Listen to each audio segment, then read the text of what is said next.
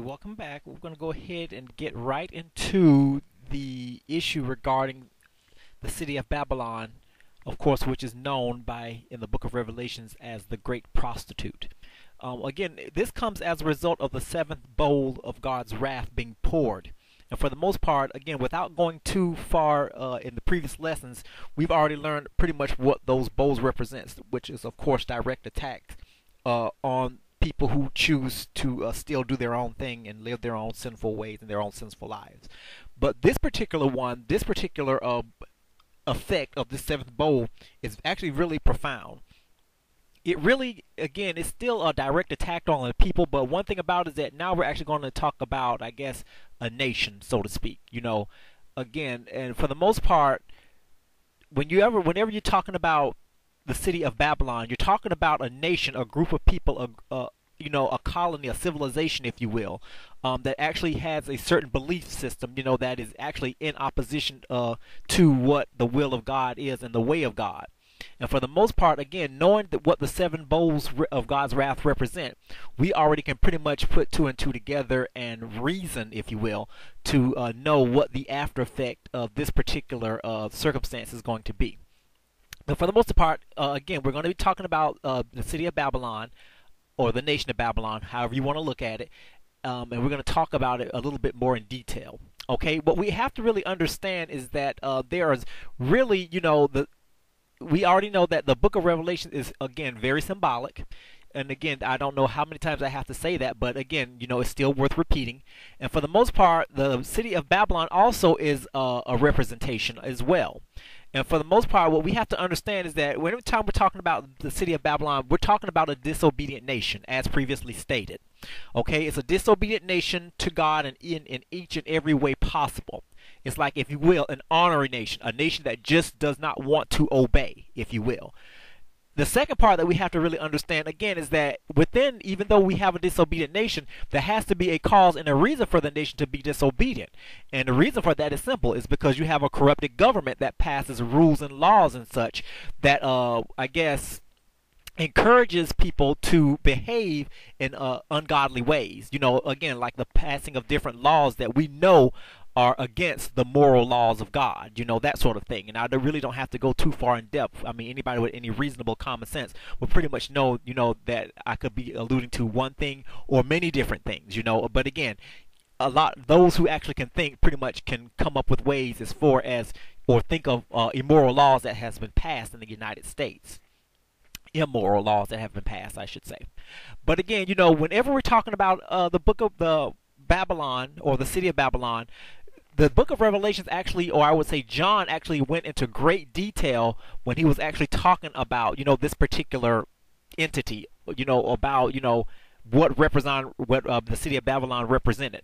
First of all, he actually kind of gave it some sort of the city of Babylon. He gave it like he kind of personified it. And what I mean by personification is that he actually gave something that would seem inhuman gave it he gave it kind of like human characteristics. And that's pretty much what personification really means. Is giving something that's not human you're going to give it like some sort of human characteristics. It's like you're going to describe it as a person. And again when we actually go into the book of revelations and if you all don't know where i am in the book of revelations we're actually right in the area of the 17th chapter. So we're kind of we're really moving along. We're really getting to the uh, coming to the end of this real soon. But again when john was actually saying you know uh, when he was describing the uh, city of Babylon, he said that pretty much that he was taken up, I guess, in the spirit. You know, so you know, he said that an angel took him in the spirit, and first, and he saw that he saw like a vision, if you will, and what he saw is that he said he saw like a woman.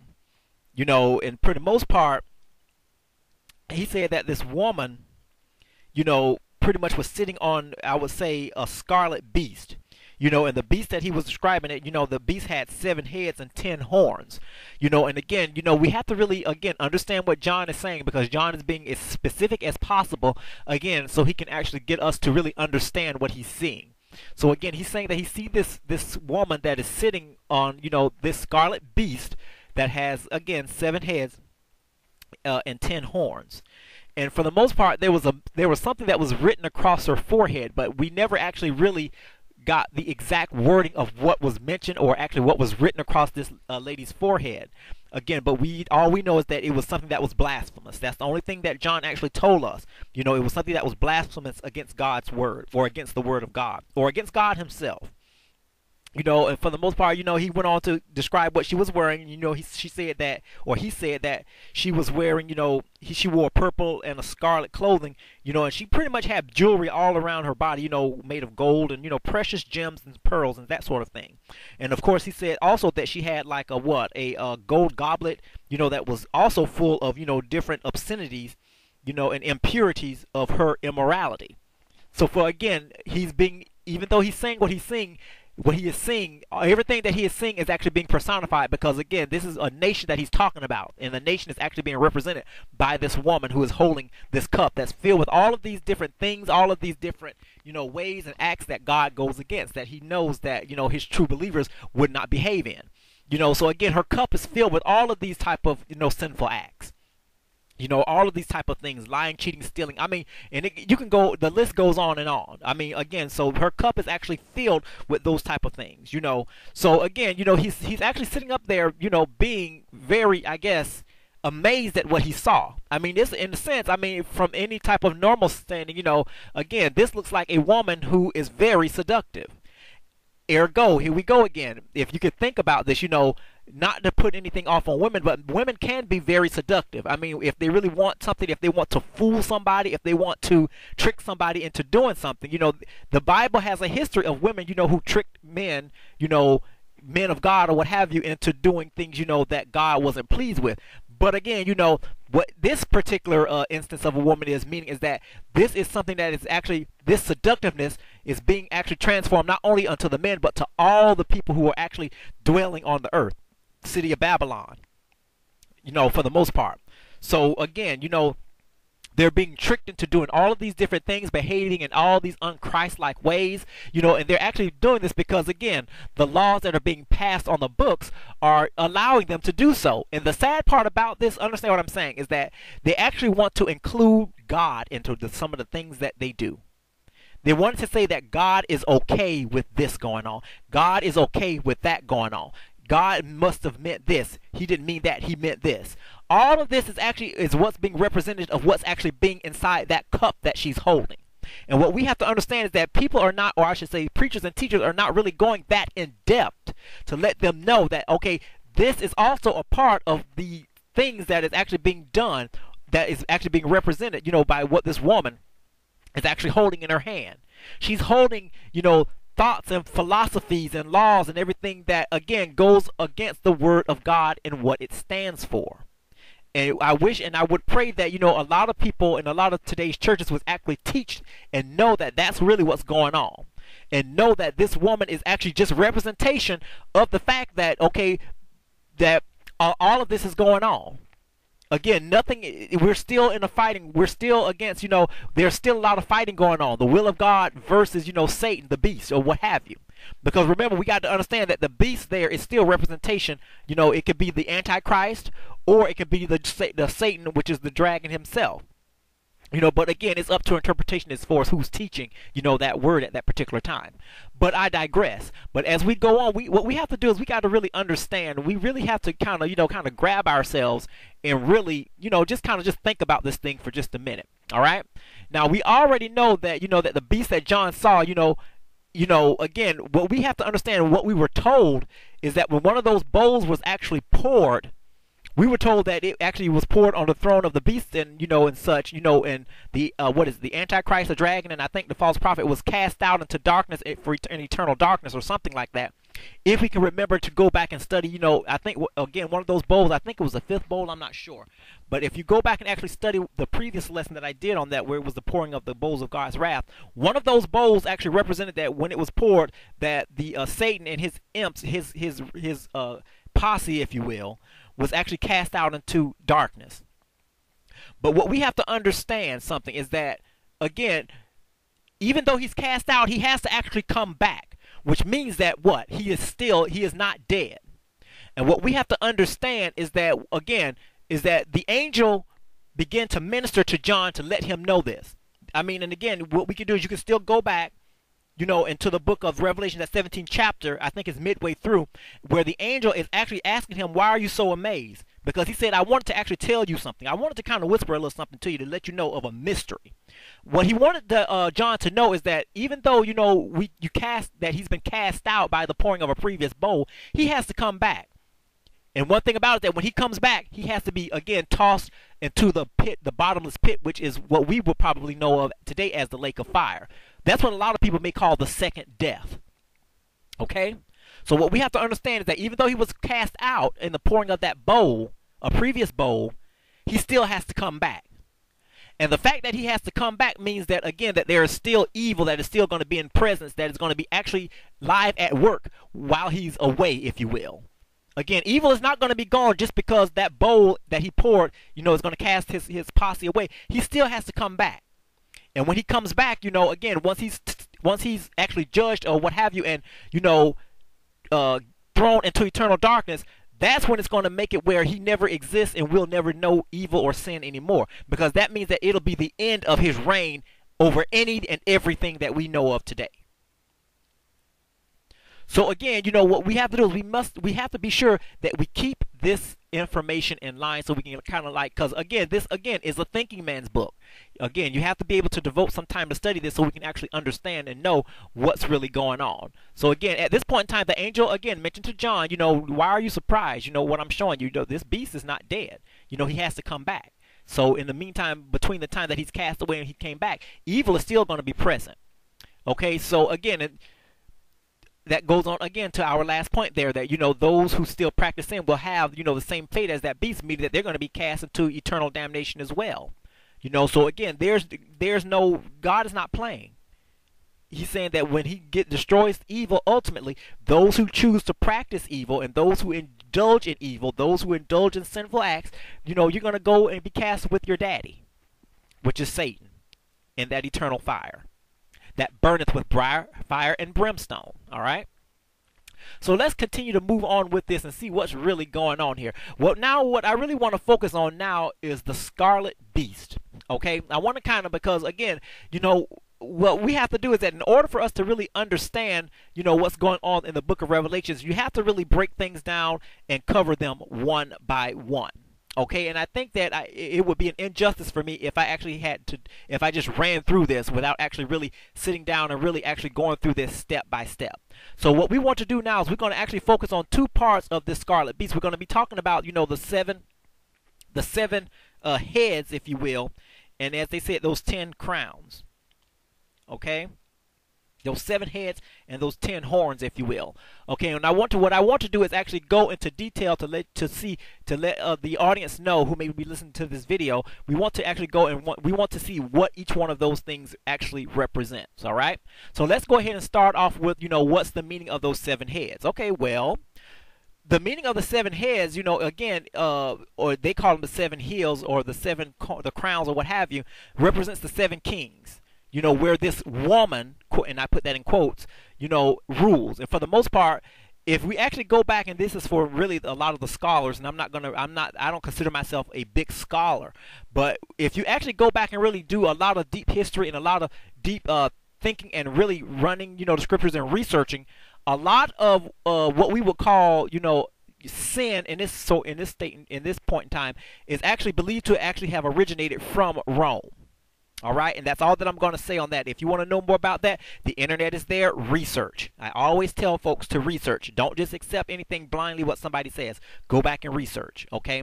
But for the sake of time, we're going to continue on. Okay. Now, what we have to understand is that even with those seven uh those seven heads, what we have to understand there is still something here that needs to be said and done, which is of course again broken down in scripture.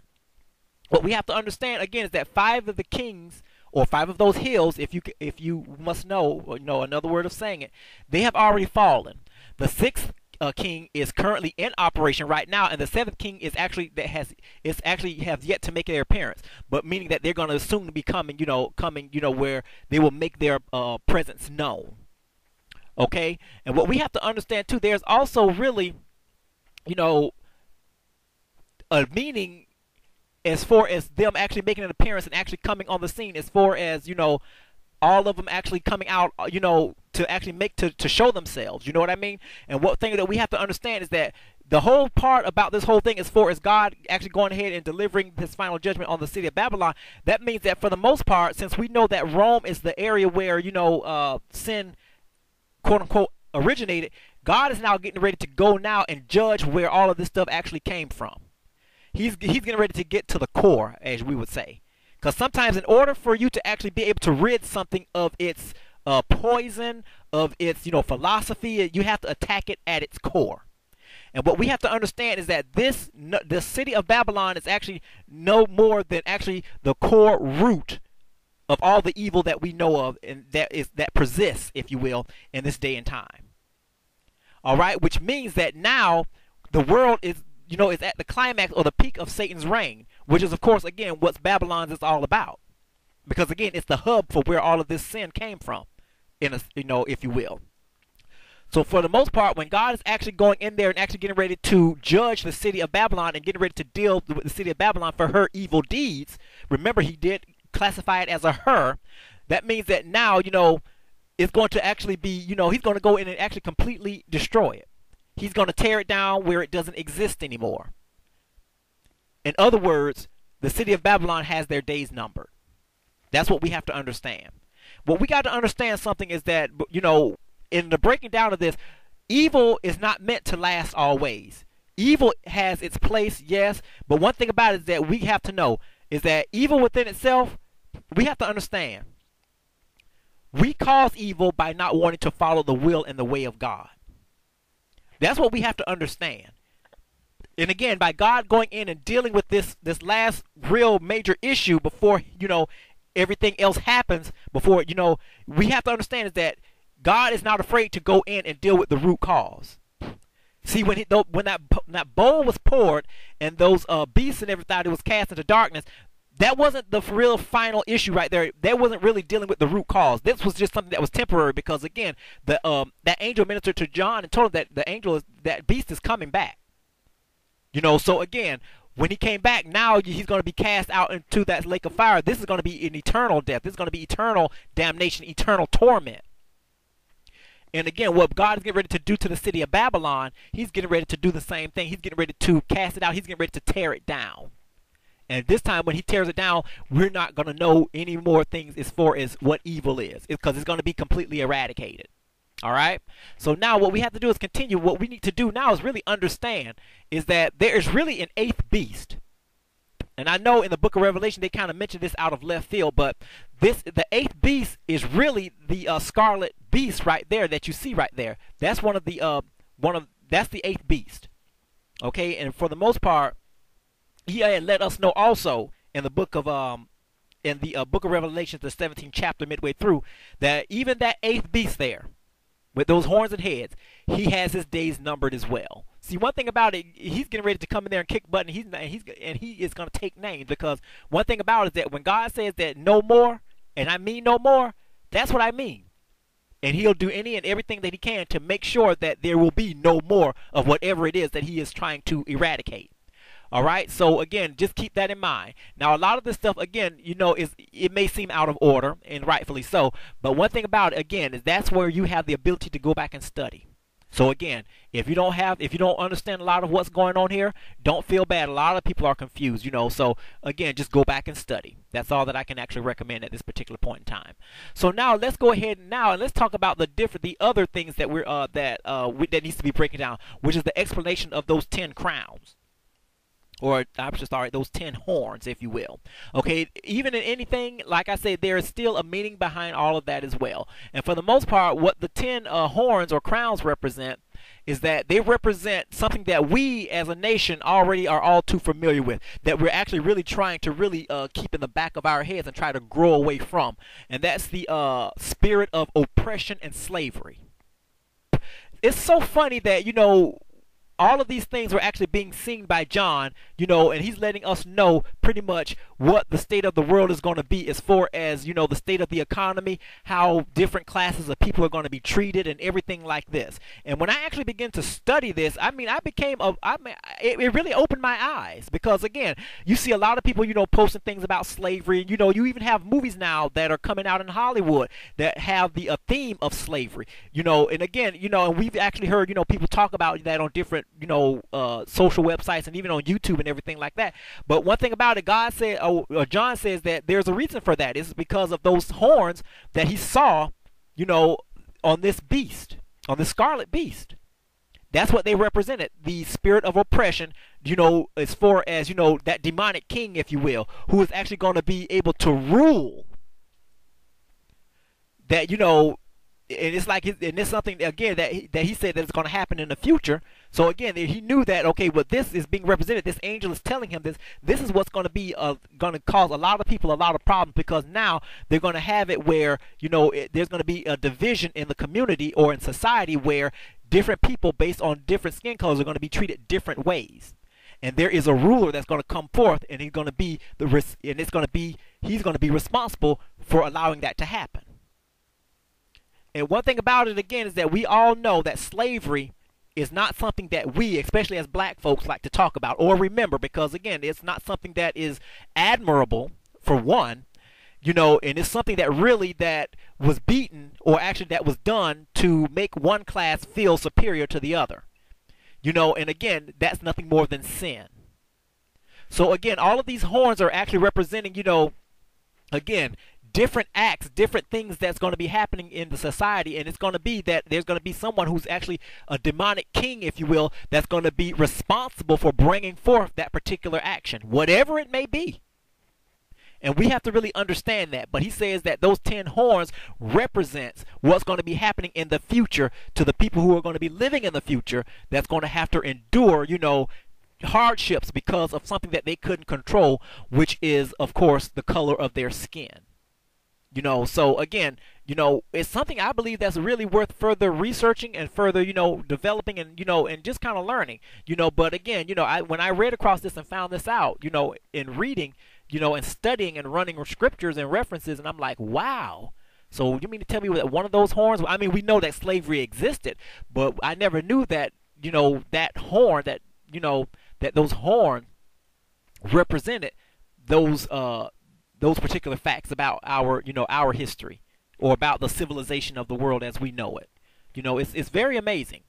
Now, one thing that we also have to understand too is that, you know, even though you have the beast, the scarlet beast and everybody, you know, working in cahoots with this woman that is represented, you know, as the city of Babylon, what we got to understand is that in I think at the end of I think the 17th chapter of Revelations, we hear that you know there was a great fight or something where you know Bab- the lady's ally, which was that uh, scarlet beast, began to turn on her, which means that there begins to be a great fall, meaning that you know there's an attack. You know, different ideas. Somebody actually wants to be more than the other person. You know that sort of thing. So now we're left with a situation now where you know you have two people or two entities that used to be allies with one another that are now attacking one another. So now what this means that now the uh, the ruler or the reign is not as strong as it once was because now one person sees or one entity sees the other as a threat. You know, so one thing about is again is that when you actually have two opposing things or two opposing entities fighting against each other, you're going to have a great fall. And pretty much that's what brings us to the next aspect of um, this particular study now, which we're talk, which I'm going to talk about, which is again what we would call the Great Fall of Babylon amazing how these things actually goes along and how you stumble up on these things and learn, you know, the sequence of how all of this comes about. But again, again, the uh, fall of Babylon comes as a result of the ally or the evil spirits, or you know, the beast and you know the lady that's represented as the city of Babylon. They're clashing because again, you know, they're not really, I guess, on the same, uh, on the same, how can I say, program, if you will. You know, they're being programmed now. They're to fight against each other. So now that they're being programmed to fight against each other, so here we go again. Now the whole city, the whole world, the whole nation is going to suffer now because you have two things, entities that were once allies that really can't stand the sight of each other, so to speak. Now, but what we have to really understand is that the fall of Babylon within itself is actually very symbolic. Okay, and it means that it's going to again bring to an end a lot of things again that we know of, and I think a lot of it is really you know what we've come uh, accustomed to here as uh, living human beings, human beings on this earth. But one thing about it is that I really want to go in and uh, just kind of highlight some of them for you. So again, the fall of Babylon it means what the end of practicing evil, you know, the end of what corrupt governmental greed, or and also what we would call the quote unquote good life. And I'm going to get into all of that in a minute and co- of course a host of all other type of sinful acts you know and i can go on and on with this again because that covers you know a whole lot of things i mean name it i'm pretty sure that you can name something okay so i'm not going to really dwell too much on that but what i wanted to want to under really want people to understand is that the main heart of the city of Babylon is that those were people. This is a nation that actually was uh, dependent on their wealth. And see, one thing about it is that when you actually have a, a nation that is actually collapsing and falling, for the most part, there has to be a reason for that. And the reason for that is because God sits high and looks low, and He knows that for the most part, you have a lot of people that are really stealing and taking what's not really theirs. Financial, you know, financially, I mean, we have it every day where you are list, looking at people that are actually having their uh, savings account, their IRAs, and everything caught up in some sort of get rich quick get rich uh, quick scams that are actually developed by people who know how to manipulate books. It's like they're stealing from folks and actually trying to take something that does not belong to them. It wasn't their hard work that uh, that gave that uh, that produced that sort of money, but they actually want to take it and actually manage it and manipulate it and make it work for them as opposed to the people who were who they were entrusted, you know, to actually uh, you know handle their funds. You know, and we see a lot of this these days on the television where you have people that are actually profiting off of somebody else's retirement. You know, and that's why it makes it so hard for folks now these days to really want to invest in anything because they're afraid that the person does not is in it just for themselves.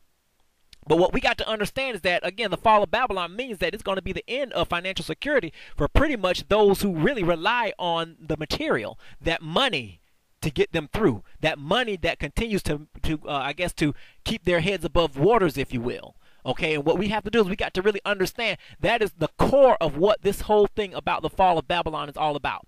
In order for a nation to be able to continue to function, it doesn't matter how good or how evil it is, there has to be some sort of financial resources available for them to continue to function. Just like when they actually had, you know, this war going on, you know, money had to be exchanged, you know, overseas, you know, with, you know, the 9-11 terrorist attacks and Al-Qaeda and stuff. Money had to still be in a place somewhere in order for people to be able to uh, go and hide out in caves, you know, produce more weapons to fight against the enemy and everything like that. So what God has to do, again, he's going and he's going to hit in the heart of all operations to make sure that this evil get is that he has to get rid of evil for good. And the root of all of this is, is nothing more than the financial resources that the city has. And for the most part, again, the main people who are actually really going to get really, I, I mean, burnt, or I should say, I shouldn't say burnt, but actually judged are going to be those who actually, again, depend on their money for everything. I mean, you have people that depend on their money, you know, to, for, I mean, just for being happy. I mean, understand, folks, and I guess I have, I guess this is worth mentioning. I guess I got to stop and kind of digress for a moment. We have a lot of people these days that are actually on there advocating that, and I and God help them. I don't know if they are just ignorant to the scripture, or maybe they just need to go back and refresh themselves about, you know, the resources that we have the the Bible tells us that God made everything, and everything that God made is good. All right. But one thing that we have to understand is that when we misuse resources that God gives us, that's when it actually becomes evil. Now, the resources, again, I'll repeat, originally, it's good. It's to help us to live. It's to help us survive. It's to help us to continue on. But when we actually try to go and actually get this evil way of thinking of how we can use it, that's when it becomes sinful to us. A lot of people are quick to say that money is the root of all evil. And I'm quick to tell folks that you need to go back and really read the scripture and really understand what the Bible says about those type of resources. Having money is necessary to live in this day and time. You have to use it to pay bills. You use it to go to college. You use it to go to do all sort of things. You know, to buy a house. I mean, it's needed. But when you take it and you begin to love that money, love that resource, and you give it attention, and when you give something, you start to develop more of you know different ways on how to get more of it. That's when it becomes the root of all evil. When you become to enjoy it too much to where it causes you to actually think evil, to do evil, to plot against someone, to cheat against someone. That's when it becomes tainted to you. The love of money is the root of all evil. Money is not evil, people. I get so tired of hearing people say that, and I'm like, I be, I'm wanting to scream because one thing about is that it's a shame when we go out throughout life misquoting scriptures and there's and then when someone corrects you you get angry because one thing about is that if you don't correct it at the at the very core that lie is going to continue to go on and on and it's going to go into a new generation and everything like that and you're going to have people saying well money is evil no it's not everything that god made he made because there's a purpose for it but we as humans decide that okay well you know what maybe I can do this, you know, and I can get more of it, or I can do something where it can actually benefit me. And that's where it becomes a problem. But see, one thing about it, going back to uh, get back on the uh, road here, going back to how this is actually that type of thinking here uh, is going to be handled. This is the reason why you know this. These are the type of people that's going to be really affected by the Great Fall of Babylon because again we've heard of issues uh, again where uh, you know the financial markets were in danger we heard about that you know when we saw the 9-11 uh, attacks when we actually had you know the, the collapse of the stock market what about that recession in 2008 where people lost a whole bunch of their investments and you had a lot of people that were out there you know prowling warning and taking old folks retirements i mean and then pocketing it and then just walking away like it's nobody's business I mean, people are ridiculous. When people get their backs against the wall, they will kill, they will destroy. It doesn't matter. They will they will take and do anything they can because it's an act of desperation to survive because they know that if that's gone, they don't have anything else. Because that's all that they know. And that's a sad thing to do and to be in when you actually surround your entire being around money. But we have a lot of people that are like that, folks. Also, too, those who acquired much wealth you know, in luxury, they're going to sit there and sit and watch idly by while their whole life's work, if you want to put it that way, is going to be gone up in smoke for the most part. And there is going to be nothing that they can do about it. That is a very bad situation to be in when you see all of your all of somebody else's stuff because most of the time it's not even theirs by the way that this is brought to me you're going to sit there and see all of what you're trying to do and all that you're trying to acquire. You're going to see it that since you don't want to do good by it, you don't want to help anybody, guess what? God says, I'll blow on it. So what? It's gone. And that's a bad shape to be in, folks. But one thing about it is that the city of Babylon is known, you know, to have people, you know, that brag on being able to be financially independent, being able to, you know, put their money to fight their battles and stuff like that. I mean, my God, I mean, even in this day and time, you actually people have people that actually went out and blatantly broke laws, but yet still, when they went to court, they actually went free because of the uh, case of affluenza, and we've heard of that. And I'm like, you've got to be kidding me. I guess money does, I guess, have privileges in certain things. But one thing about it, even in that, God is still going to come back and he's going to make the unjust just. And that's just what this whole thing is about. Going and actually getting rid of evil and bringing back justice and bringing back to things the way it was supposed to be. Okay? What we got to understand is that out of all of this that's going on, the main people who stand to lose a lot are those who really, you know, did not have their uh, their dependency on the right source. And one thing about it is that sad, all sad to say these days, we have a lot of people that are trusting in too many different things. And I know this touched me personally. Because one thing about it is that you can sit here and talk and teach things, but one thing about it is that when you actually can teach it and see yourself in it, that is something, you know, that I say thank you, God. Because one thing about it is that God can allow can allow you to die in that and you'll be lost forever. But one thing that we have to understand is that we cannot put our dependency on things that we can see. God tells us to walk by faith and not by sight. He also says that the just shall live by faith. But see, one thing about it is that again, if you want to turn around and look at a second aspect, this is a this is an eternal judgment to those who chose to really not to walk by faith. They're really to choosing to put their trust in things that they can believe, that they can see, feel, and touch. Which of course goes against the entire concept of trusting in God or knowing who God is, you know, at all. So what we have to understand and know is that the end of Babylon, he's going in, and the whole point about this is that he's going and he's going to actually deal with it at its very core. And when he deals with this at its very core, then guess what? You're going to see a lot of people that's going to be affected by it. And the sad part about it is that there's nothing that they're going to be able to do about it because they caused it on themselves by being haughty, by being, uh, as you call, uh, very arrogant because they feel that they can get away with things. You got even people think that they can even buy their way into heaven because of the resources that they own. That's when you know that something is wrong. You you gotten way I, you gotten so far that I can't even reach you. So, but you know, again, God has a way of humbling. And sometimes he has to snatch that security blanket, that financial blanket, in order to get your attention. Sometimes God has to save us from ourselves. We have to really think about that. Because if we, he lets us and uh, cause us to continue to run and behave and act crazy, we'll end up running into a brick wall and really end up doing a lot more harm, you know, than what was originally intended. I mean, some things I mean you can't you can't avoid.